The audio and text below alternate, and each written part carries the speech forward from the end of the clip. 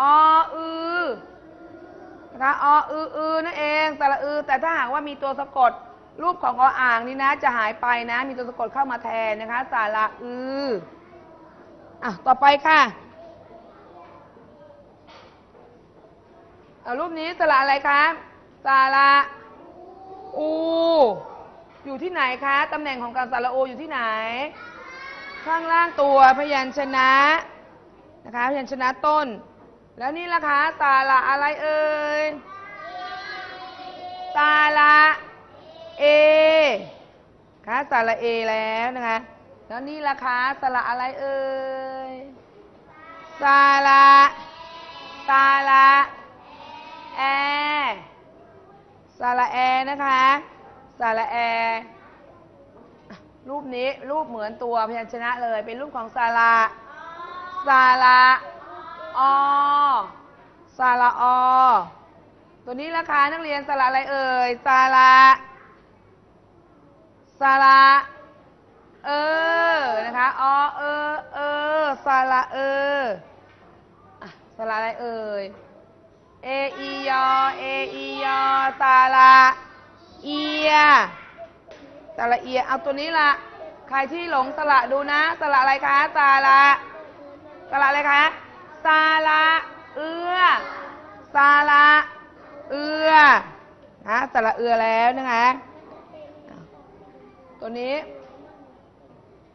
สระอะไรเอ่ยสระอัววอแหวนนี้ใช่ตัวสะกดไหมคะนักเรียน ใช่ไม่ใช่ ไม่ใช่เป็นรูปของสาระซาลาอัวค่ะแต่ถ้ามีตัวสะกดเมื่อไหร่แล้วก็ เอ่อรูปมหาการเนี่ยจะหายไปคงรูปวอลแหวนเอาไว้นะคะสาระอัวนะคะ ไม่มีตัวสะกดก็จะใช้ตออัวตัววออัววัวเช่นนี้นะคะ ทีนี้มาดูค่ะสระที่ตัวสูงสูงคือสระอะไรนะสระโอสระโอแล้วนะเอ่อ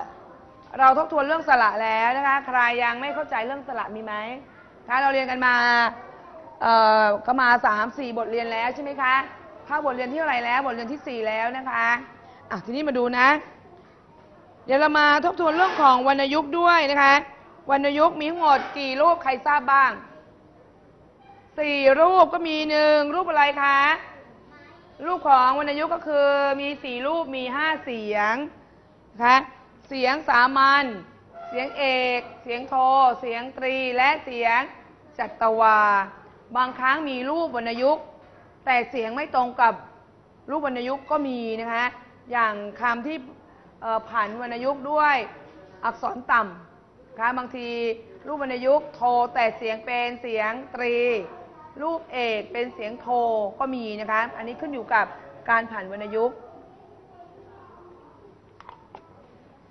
เรายังไม่เรียนเรื่องการผันก่อนนะคะ เรามาเรียนเรื่องของวรรณยุกต์กันก่อนทบทวนนะ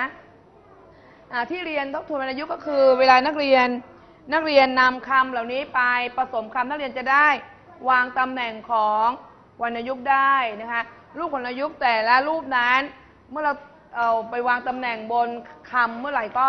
ความหมายของคำเหล่านั้นก็จะเปลี่ยนไป ใช่ไหมคะอะทีนี้รูปเอก อันนี้คือรูปเอกก็คือไม้ ไม้อะไรคะไม้เอกนั่นเองนะคะนักเรียนจะรู้จักคำว่าไม้เอกค่ะไม้เอก หารูปร่างหน้าตาเป็นแบบนี้เอง ถ้าเป็นอะไรคะเอ่อไม้โทก็คือรูปของไม้โทค่ะไม้โท ต่อไปอะไรนะ เครื่องหมาย อะไรคะไม้ตรีตอรออี ตรีนะคะ ไม้ตรีนะคะ เอาไว้กำกับบนคำนะคะ ตัวสุดท้ายก็คือ อะไรคะ ไม้จัตวานะคะ เอาไว้เขียนกำกับบนตัวพยัญชนะนะคะบนตัวพยัญชนะนั่นเองนะคะอะทีนี้มาดูซินะคะเอ่อเดี๋ยวเรามาเรียนรู้ในเรื่องการผสมคำให้นะคะอะนะคะ เอามาเรียนรู้ในการผสมคำกันดีกว่า คะมาเรียนรู้การผสมคำนะคะการผสมคำก็คือการนำตัวพยัญชนะ มาผสมกับสระนะคะเอ่อบางคำก็มีพยัญชนะต้นผสมสระก็เป็นคำคะหรือพยัญชนะต้นบวกสระบวกตัวสะกดก็เป็นคำหรือมีพยัญชนะต้น บวกสระบวกตัวสะกดและบวกวรรณยุกต์ผสมกับวรรณยุกต์ก็เป็นคำ ครับคำแบ่งออกเป็นอะไรคะหนึ่งไม่ไม่ไม่ผสมพยัญชนะนะคะเป็นผสมสระพยัญชนะผสมสระไม่ผสมสระตัวเอ่อไม่ผสมตัวพยัญชนะตัวสะกดก็มีนะคะอะทีนี้มาดูยกตัวอย่างนะคะอ่าส่วนประกอบของคำนะคะ ดูนะคะ เช่นคำว่าอะไรนะอะดูก่อน ส่วนประกอบของคำแล้วนักเรียนอ่านพร้อมกันค่ะ ส่วนประกอบของคำพยัญชนะสระเช่นคำว่าอะไรนะ พยัญชนะกับสระเช่น พยัญชนะ ตัวนี้ค่ะ ตัวอะไรนะ ออกมาเป็นคำนะคะ เช่น ตัวนี้ตัวอะไรคะ พยัญชนะต้นคือตัว ตัวอะไรครับกอไก่ผสมสาระอา เป็นอะไรคะ เอาเราผสมคำครูฟังที่กออาออกเสียงหนึ่งสองสามกออากากากากาบินล่องกากาออกไปหากิน เช้าตรู่ทิ้งลังไปสิ้น เช้าตรู่ทิ้งลังไปสิ้น ออกไปหากินบินร้องกากากาตัวนี้ก็คือกาที่เป็นสัตว์ นะคะกาที่เป็นสัตว์ที่ตัวสีอะไรคะ สีดำนั่นเองนะคะการที่จะออกหากินในเวลาตอนไหนคะ ตอนไหนคะ เช้าตรู่คุณครูร้องเพลงไปเมื่อกี้นี่เอง เช้าตรู่ออกไปหากินฉะนั้น ใครตื่นนอนสายเเขาบอกว่าเมื่อก่อนเขาบอกว่าใครที่เป็นเด็กๆเนี่ยตื่นนอนสายไม่ทันอะไรคะไม่ทันนกกาออกหากินเขาบอกว่าถ้าคนนอนตื่นสายเนี่ยจะเป็นคนที่ไม่อะไรคะ ต่อไปพานภาคหน้าจะไม่มีความสุขในบ้านปลายชีวิตเพราะว่าตื่นสาย คนที่ตื่นกันก่อนเนี่ยเขาก็จะรีบไปทำมาหากินแล้วใช่ไหมคะฉะนั้นนกกาเขาต้องรีบไปรีบออกไปหากินตอนเช้า ไปหาผลไม้หาอาหารกิน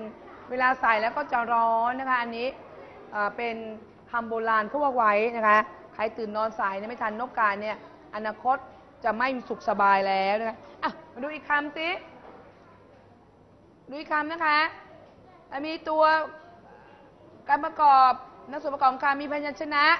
ผสมสระไปแล้วใช่ไหมมีกออากาศที่มีตัวสะกดบ้างล่ะ ถ้ามีตัวสะกดเช่น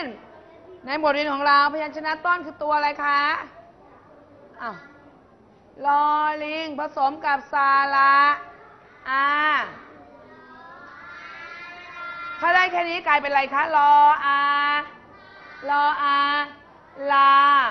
นะรออาลาไม่มีตัวสะกดนะคะ แต่เมื่อมีตัวสะกดแล้วจะอ่านเป็นอะไรคะรออานอรออานอ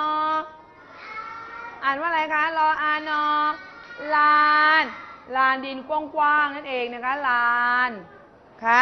ภูผาตามหาใบบัวใบโบก ไม่เจอที่ลานหน้าบ้าน แต่ไปเจอที่ไหนคะไปเจอที่ไหนคะเออไปเจอที่ลำธารเอ่อภูผาจึงเอาอะไรมาผูกที่คอ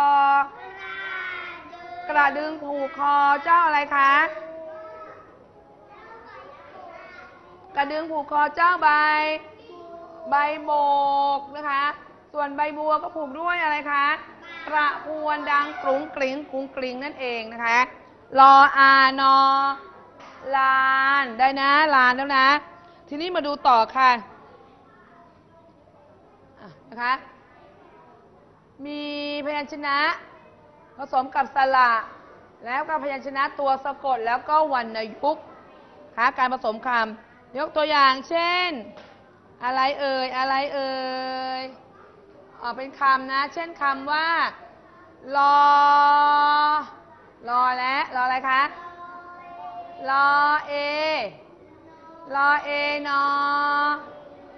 เลนไม้เอก รอเอนอเลนไม้เอก เล่นนะคะ มีตัวพยัญชนะต้นก็คือตัวลอลิง สระเอ ตัวสะกดคือตัวนอหนู และวรรณยุกต์ก็คือไม้เอกรอเอนอเลนไม้เอก เล่นนะคะ ได้แล้วยังเอ่ยแล้วอะ มาดูอีกสิคะแยกประโยคของคำนะคะอะดูสิตัวนี้ คำว่าตามตามตอยัญชนะต้นก็คือตอเต่าสระอาตัวสะกด มอมาวรรณยุกต์มีไหมคะ มีไหมคะ ไม่มีนะคะ อันนี้การแยกส่วนประกอบของคำนะคะ เมื่อกี้เราเรียนเรื่องของส่วนประกอบของคำนะคะ อันนี้การแยกส่วนประกอบของคำแล้วเอาให้อีกคำหนึ่ง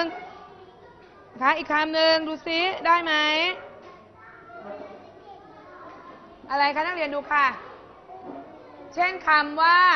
อ้อยอ่านักเรียนดูนะคะ ใครตอบได้เดี๋ยวคุณครูมอบรางวัลให้ละคำว่าอ้อยคำว่าอ้อย พยัญชนะต้นคือตัวอะไรคะออ่างสระสระสระอะไรคะสระอ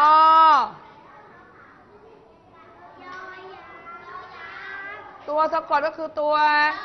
ยอ